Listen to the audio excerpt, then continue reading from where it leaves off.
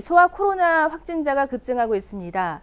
특히 소아들은 백신 접종을 하지 않아서 감염률이 높고 밤에 고열이 많이 나기 때문에 응급시 발빠른 대처가 중요한데요. 골든타임을 놓치지 않고 치료하는 방법 알아봤습니다. 박현수 기자입니다. 코로나19 확진자가 연일 증가하고 있습니다.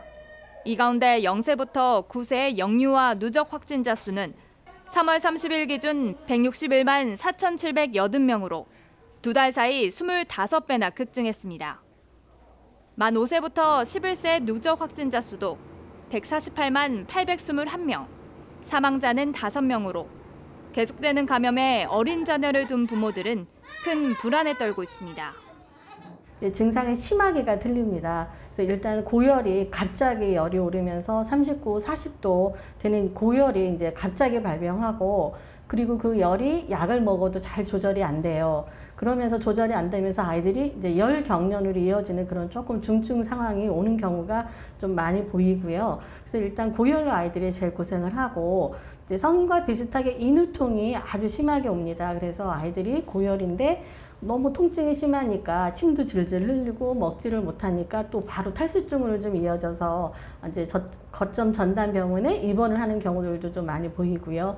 이제 조금 종종 또 이제 좀 빈도는 좀 드물지만 후두염으로 오는 친구들이 많습니다. 기침을 컹컹 거리고 한다거나 훅 하면서 숨을 이제 이렇게 좀 들여 마시면서 이제 흉부 함몰이 오는 경우들이 있습니다. 사실 이런 경우는 사실 응급을 좀 다투는 경우가 있어서 어 119를 타고 오거나 또 산소 투약을 하는 경우도 좀 종종 저희 병원에서 이제 치료를 한 경우가 있는데 아이들이 이런 증상을 보이면은 빨리 병원으로 이제 대면 치료를 할 수 있는 병원으로 거점 전담 병원으로 빨리 이제 오시는 게 제일 현명하실 것 같습니다. 영유아나 소아 환자들은 밤이 되면 고열이 빈번히 나타납니다. 주 증상이 나타나는 3일, 골든타임을 놓치게 되면 쉽게 나을 수 있는 증상도 더 악화될 수 있기 때문에 재빨리 대응하는 것이 중요합니다.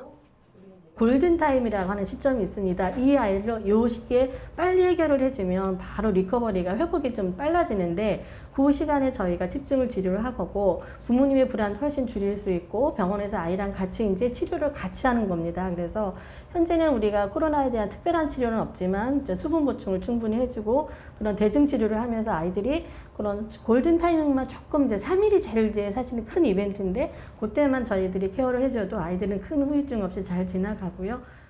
소아의 경우 가족 단위까지 확진되는 사례로 이어지는 만큼 만약 대면 진료에 어려움이 있다면 다니던 병원에 연락해 비대면 진료라도 받는 것이 좋습니다.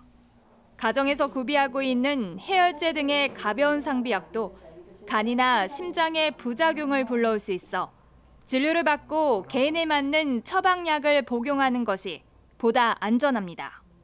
다니는 단골 병원을 이용하는 게 아무래도 약물의 리스크라든가 투약하는 것도 아이를 많이 잘 알고 계시기 때문에 가장 정확한 처방을 그래도 환자를 보지 않고 처방을 하는 게 가장 안전하고 뭐 그렇지 못한 경우는 이제 거점 전담 병원이나 비대면 진료가 가능한 다니시던 어떤 병원을 이용하셔서 내과는 내과대로 소아과는 소아과대로 진료를 하시는 받는 게 가장 현명하실 것 같습니다.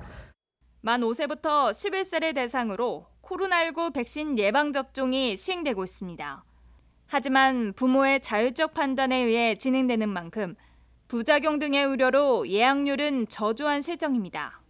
그거는 부모님의 결단이 필요할 것 같습니다. 어쨌든 정부나 또 소아과 의사는 이제 고위험군은 꼭 접종을 권장을 드립니다. 그래서 뭐 폐 질환이 있거나 기관지 천식 증상이 있거나 또 선천성 심장 기형이라든가 그런 경우 또는 심장에 문제들이 있는 친구들이 소아에서는 만성 질환이 있는 경우가 있고요. 그런 아이들은 사실은 꼭 접종을 권장하고 소아 환자는 계속 좀 급증하는 추세에 있고 성인은 좀 주춤하다 치면 지금 소아 환자가 가족 단위로 많이 발생을 하기 때문에 어, 그럼에도 불구하고 접종을 안 하는 건 특히 이제 건강한 아이들 알았거나 그런 경우는 이제 보호자분들이 잘 고려해서 결정을 할 수 있겠지만 어, 기존 어떤 만성 질환을 갖고 있는 친구들은 꼭 접종을 마무리를 하시는 것이 어, 훨씬 중증으로 갈 수 있는 위험도를 줄일 수 있을 것 같습니다. 어린아이들은 증상에 대해 표현이 서툴기 때문에 보호자의 역할이 무엇보다 중요합니다. 고열을 비롯해 평소보다 먹는 양이 줄거나 8시간 이상 소변을 보지 못하고 처지는 모습을 보인다면 즉시 가까운 병원을 찾아 진료를 받으시기 바랍니다. CNB 뉴스 박현수입니다.